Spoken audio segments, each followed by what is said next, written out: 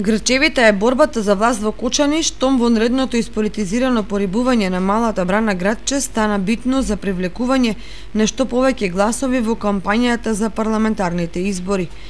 И како се случи рибите да станат еден од главните адути на учесниците во изборната трка на локално и централно ниво па за само два часа водите на езерцето градче да вдомат 500 до 600 килограми краб. Тоа што тука може би ќе им биде тесно, бидејќи и пред непол месец беше реализирано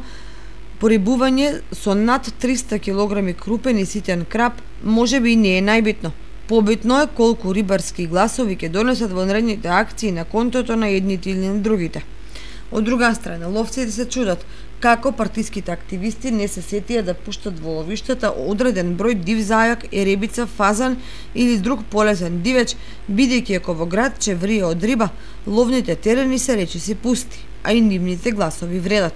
За ловниот резерват полаки и да не зборуваме, бидејќи во него крупниот високопланински дивеч може да се изброи на прсти. Но предизборните бајки на политичарите брзо пукаат како меур од сапуница,